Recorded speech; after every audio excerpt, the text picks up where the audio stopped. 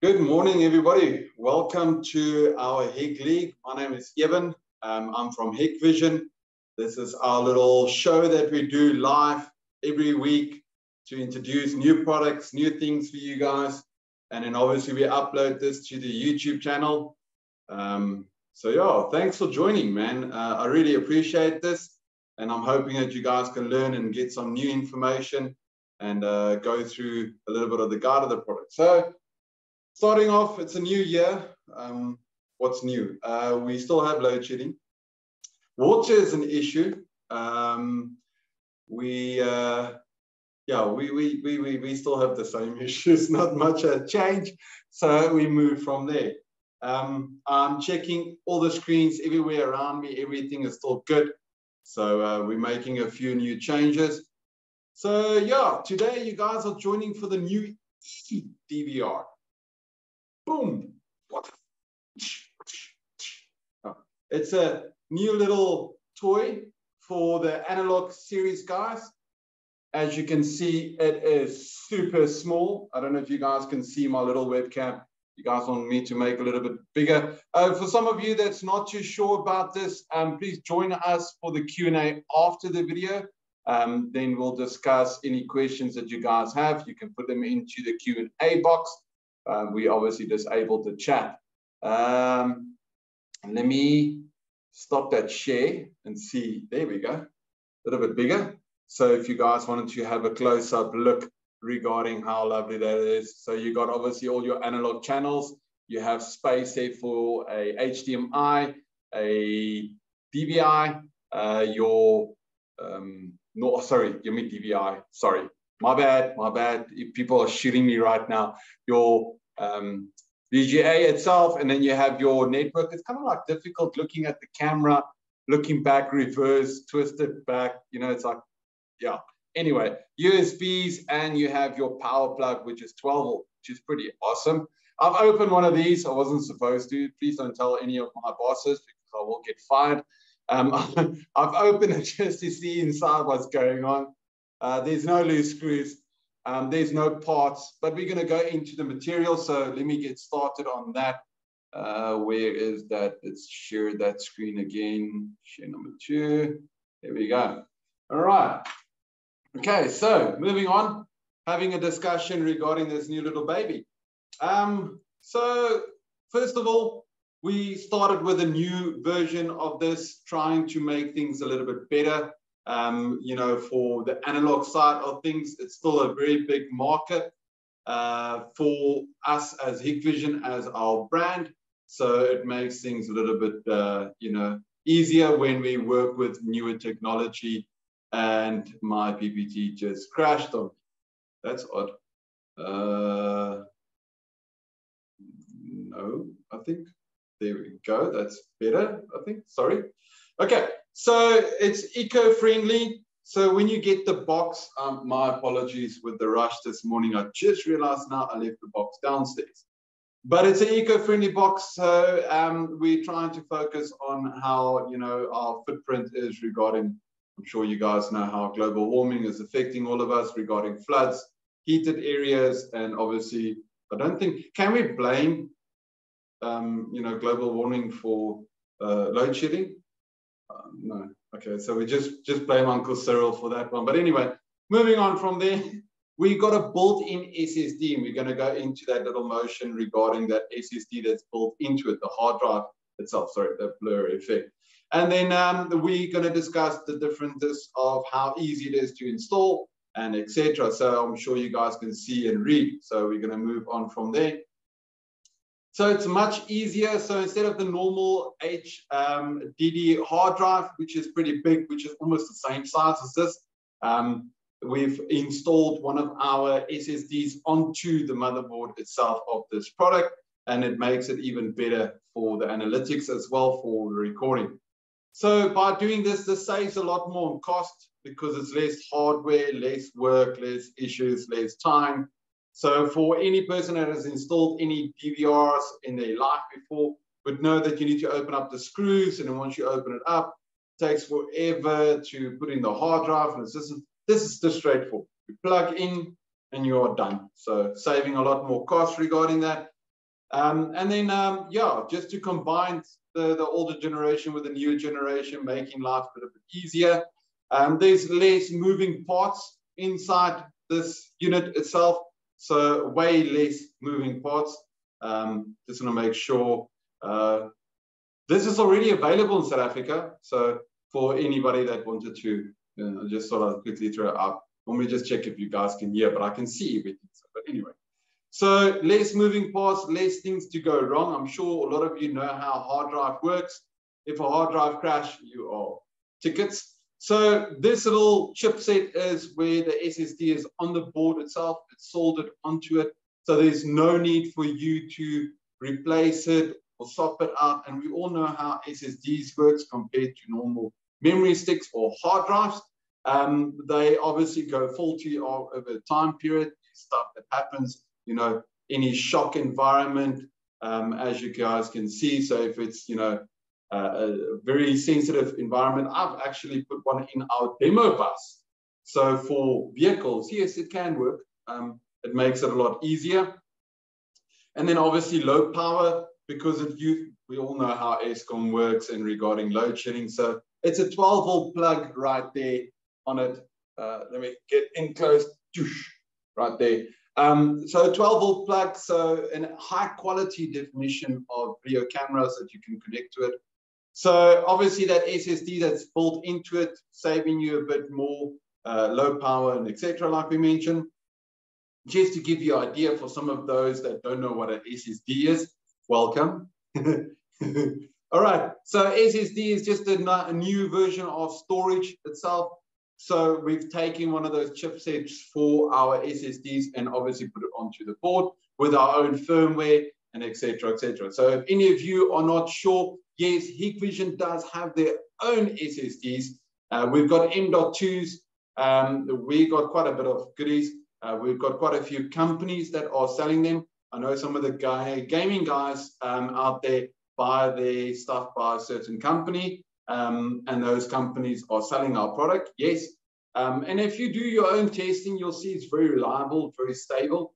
When it comes to our SSDs, just to quickly tell you, um, when people say that they have a certain amount of uh, upload and download speed on their you know, SSD devices or M.2s, um, basically to test it, um, ours obviously we speculate a high end, but when we copy transfer data from point A to point B, you'll see that the fluctuation is a lot less, number one. And number two, the high quantity of files that we transfer from point A to point B is very high, where other brands will fluctuate going all the way low and then come back up once it reached there on the top and then go down. And, you know, it's not stable. So we focus more on the stable transmission. So I have for my own PCs, um, I have my own SSDs in that. Um, can I say gaming? Um, yeah, I'm, a, I'm, I'm not a console, I'm a PC, but anyway, moving on from there, very stable, very reliable, and perfect to use for that kind of environment. Obviously, we sell them for surveillance purposes, but we can use them for anything else if you would like to. Moving on from that subject, um, we have a new analytic on there. Obviously, you guys might be familiar with our um, Motion 2.0. So that algorithm has obviously developed with more technologies and more things. So with the next course, we'll obviously go into a little bit more detail. We obviously have removed the Thursday training. We only have Friday where we introduce everything and a little bit of technical to make it easier. We don't want to make it boring for you guys. All right. So for that um, compression itself, we're going to look at that. The lifespan of that data storage is quite extensive. It depends on if you are using two megapixels, four megapixels, eight megapixels. It all depends on what your camera is and what your analytics, but we'll get into that stage just now for you guys. So it saves a little bit more, especially on the eco-friendly side. So all the goodies inside the box, uh, we're trying to um, reduce our you know, global warming footprint in our site. So yeah, it's kind of difficult because when the guys get the cameras, they normally take off that plastic in front of the lens and they just throw it, there it goes everywhere. Um, please guys, pick up your papers, pick up your stuff, but moving on. So um, regarding the low cost itself, Um, it, it obviously helps us a lot overall, saving a bit more because there's less resources that we are using. It uses less power. Um, there's less time spent on it as well. So um, it's just so much better for the long run um, for these devices. And we are trying to focus and shift our focus towards a lot of the technology in South Africa from um, our big company at our headquarters to try and see what else we can use in the company would make things better for our country, for technology-wise, energy, right?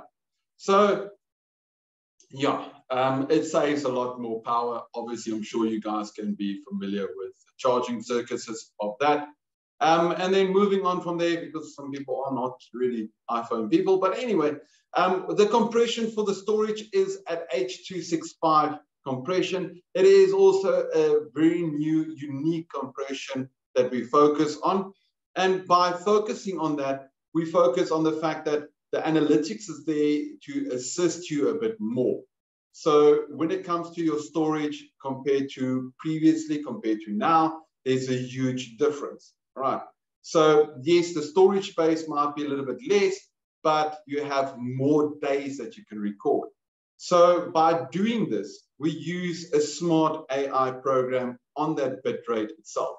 So we try and focus on the constant bitrate or you know the variable bitrate, and the camera will decide according to the amount of level that that environment or field of view is. So if there's a lot of people, it's obviously going to try and use less um, and then obviously reduce it a bit more. So to save the bandwidth. But if there is maybe certain security levels or maybe somebody crossing, then it will concentrate. But if the static image is there, it's obviously going to try and save as much bandwidth as it can. So it's going to reduce that image. So what that basically means, if you normally take a camera and you face it towards, let's say as example, a receiving area for a shop, that door gets open maybe once a week, once every two weeks. Otherwise, that camera looks at that door. There's no changes in the images. There's no one walking past it. There's no lights going on and off. The image is static. It looks at that door. But if we put it onto variable, so basically what that means is if somebody puts their face there and then all of a sudden they look at the camera, then the camera will look at the best quality to use to capture that information and store it onto the storage device of the DVR or NVR. So this is smart analytic and a lot of our new equipment start having that built in. Moving on from there, the quality of the image has been improved as well. So your normal DVR compared to the eDVR, you'll see that the quality difference for that detail has been improved quite drastically. So by using that AI technology. So the normal features, if you log into it, it's got the same way of logging into it as normal DVRs would. You can also set that quality of that, uh, um, that image. So just to show you guys, and you can also set the frame rate as well according to what your requirements are needed. So you can manually do that. Moving on from there, the easy setup, it's very straightforward. So I put in a picture there just to show you guys a hard drive. Here's the hard drive right next to it. This is the actual unit in my hand. As you can see, this is my hand. If you wanted to, my big face is my big face. You can see it's really, really easy unit. So I hope you guys can see that very clearly. So very small design. So for installation, yes, sorry, installation, you do have those little mounting brackets at the back. Can I, can I, can the can a camera, camera work for me? Sorry, this is my laptop. It's not a Hikvision camera, by the way. uh, anyway, so you got those little clips so you can connect it up and I've got a little extra things for you guys there as well. So it's easy for the installation. There's no real mechanical parts. There is, however, a small little fan in it, um, just, just for normal ventilation for certain environments. So yeah, but anyway, moving on, you have all the normal features as what you would get in a smart, like a turbo HD um, device itself. Your playback, your capturing, all your normal search functionalities, everything will be there. So we made it a bit easier. So regarding the Motion 2.0, I'm sure some of you might have seen that there's human and vehicle analytics as well. So you can decide what you want to concentrate. Right. So that if you enable it and you do the playback, it will basically show you that certain features of if there were humans, if there were vehicles. So it's not AccuSense, please take note. Um, motion 2.0 is not AccuSense. You had Motion 1.0, which was an old way where I'll show you guys just now the blocks were like red. And then obviously the newer way where it's green. So it will show you the object. So we'll move into that. As long as you understand and know that you can do playback, you can do human or vehicle, depends on what you selected. Right, making it a bit easier. Right, I'm not going to explain to you where you can install this. I'm sure you guys have your own discretion of where you can use this. There's multiple different places um, where it's convenient. Just to quickly let you guys know, especially from the sales point of view, these are the model uh, numbers itself. So you have the four channel, you have the eight channel, and then you have the higher end eight channel, uh, four channel itself. So this allows you to have 1080p at 15 frames for two weeks, which is insane. You have the bigger models as well, so giving you also a little bit more better quality. So it all depends on what model you go for. These are the normal uh, DVRs, the eDVRs itself. Um, did it jump on its own? It was on its own. Yeah, I did. Sorry, my bad. Uh, I just want to kill the laser there. There we go. So very straightforward. It shows that it um, might not be available. There are certain branches and indies already receiving them. You can place your orders. So yeah, please do so. It's got all the normal features. So Motion 2.0, just to quickly run into that for you guys. So I'm sure you've seen when you go onto motion, it used to be red. So when the object moves, you'll see the red blocks, right? Motion 2.0 is obviously a smarter analytic, where those little blocks, we can see the shape that it's a vehicle or person or whatever the case might be. So you can see those little blocks itself, and you can adjust the sensitivity according to your environment. So that helps a lot more. So moving on from there. So with that motion for any industry, it's just easier to use because a lot of people can't really afford AccuSense. Obviously, AccuSense is more advanced compared to motion, but allowing you still to have that kind of feature. Right, so for playback, you can search for human or vehicle as long as you select what you have obviously put onto the recording. Straightforward. Okay.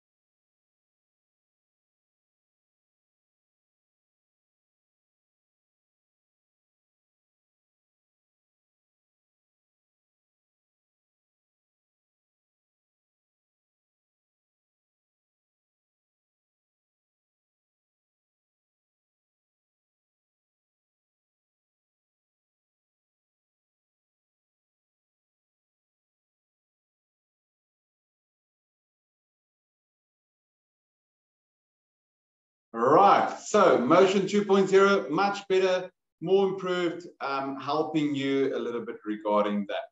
Then also please take note that we have the IDS models in them as well, which means they are AccuSense. They are smart analytics built into them. So you can basically connect up your AccuSense analog cameras in there and then obviously use the functionality as normal or use the camera itself as normal and use the feature on the device. So it depends on the model that you're going for. So please speak to your Hikvision representative or ND company of Hikvision in order to get that information that you require. Right, so all the normal specifications. So please pause it at any time if you're on YouTube. I'm sure you guys can see. So just to give you an idea of the rundown of the IDS models itself, the intelligence um, algorithm that we built into these devices. So straightforward, again, you got that compression, two-way audio in and out for alarm as well. So there's a lot of nice little features. The VCA, the quick smart playback, and you also have your target specific that you can focus on. Right, straightforward, easy, man. You can also use coaxial cable or Cat5 or Cat6 cable to communicate from point A to point B. Just letting you know that we do have cables. Some companies prefer to still to use coaxial. Other companies prefer to use Cat5 or Cat6 cable. If you are using that, please speak to our representative. We have cables as well. They are really good quality, up to almost 100% pure copper, and it's fire resistant as well. So all the normal features, just if you wanted to pause here, if you are doing the YouTube channel, if not, please guys do a print screen or something, but you can see you have all the different models of cables. Right, coaxial cable, we do have two different types. There's multiple different applications where you can use your coaxial. Some of the newer models don't need, need power leads, whatever the case, and we'll get into the power side. So just to let you know, they do have that as an option. So you can buy them by the rolls in 200 meters, or you can also get the baluns as well. So baluns are a little bit um, nicer because in the event that you have installation and you run your cables for this client, um, you can also then in future upgrade by using the same Cat5 cable, Cat6 cable, if you are using baluns. You cut it, put an RJ45 and you carry on. So with coaxial, you have to run the new cable if you are upgrading to IP future use. So letting you know that it is available. Sure, all of you are used to the old way of CCTV power supplies, those fuses that keep on popping. I know who you are. You guys keep on popping fuses when you do these installations. But anyway, moving on from there, I'm sure you also are familiar how big that box is, pretty big. So letting you know that Hikvision does have our own power little supplies, and I'm going to show you how cool they are. And um, I'm sure some of you are veteran installers that do watch this and know that, yeah, um, it's a problem. Anyway, moving on from there, those old four-way and nine-way and 16-way power supplies, um, yeah, um, we'll get into that. You can see by the size of that device in the picture of Hikvision as our own power supply. This is a four channel model. Eight channel is about the same size as well. And if you have to put this next to it, this little DVR, all right? Imagine the size for installation. You're going to use a small little, little portion and you are done. So it's just insane. This power supplies that Hikvision offers has three different voltage settings. So 12 volt, 3.5, and 15 volts. You have different distances that you can use this. It's obviously protected for, you know, not to catch fire like other uh, power supplies sometimes do. and anyway, and also we have that anti-surge because I'm sure all of you know how Eskom is regarding load shedding. So when there's a power dip in your residential area or commercial area, but it's not because of your load shedding, because of your neighboring area. Um, you, the lights sometimes go like dim, you know. Um, that's normally just a little surge that's going through. And to protect that, we have that obviously set up for that. Not just that, like I said, these power supplies are specially designed for CCTV use, right? We have all the certificates, all the standards, etc and you this is already available so you guys can get it wherever you need to. But what i can say to you guys is for it's designed for that long life use itself right? Not just that we have a two-year warranty on these power supplies. Please show me a company that's prepared for cctv power supplies to put a warranty on their devices Yeah. Look, if you're going to bring the power supply and it's got struck by lightning and it's all blown up into pieces, look, let's be honest about that. That's not what we're mentioning here. But if there's a fault with the product itself, it will be replaced completely, right? So there are certain terms and conditions regarding that, but letting you know that we are standing behind the product. We have a four channel or eight channel. No, there's not a five channel or a nine channel like some of the other brands. Reason being, because it's designed for CCTV. We don't want you to connect the mag lock or the striker lock or the intercom system and it's this and it's that and it's this. It's designed for CCTV use. So please keep it towards CCTV use. All right. Awesome. Um, and then that's basically it um, for uh, the last one. Yeah. So that's basically it, where we at in our time. So not very lengthy, very short. Um, and I hope it, it, it made a bit of sense for you guys. It's a quick, quick, quick, easy one. So please, guys, uh, next week we have another webinar. We'll be discussing, I think it's the Soho ones, the, the small office, home office. So for some of you that didn't know what Soho means, it's not ho ho, Santa Claus is coming, or you know. But anyway, moving on from there. So if you would like to stay for the Q&A, please stay behind. Um, the recording will stop now. This will be uploaded into our YouTube channel. For some of you that is not familiar with our e-learning platform, this is our uh, new certification. I've played the videos at the beginning, so you can also ask questions about that. The educational side is a lot more information, and trust me, your company would love it. We're trying to change the industry of South Africa regarding security, especially on surveillance and normal security on the alarm side. Trying to redirect uh, the companies and people's mindsets in thinking to modern, work smarter, not harder. Um, not that we don't want to work smart or hard, but just letting you know. All right. So thank you for the YouTube people. See you guys next week. For the rest of you, stay tuned for the Q&A.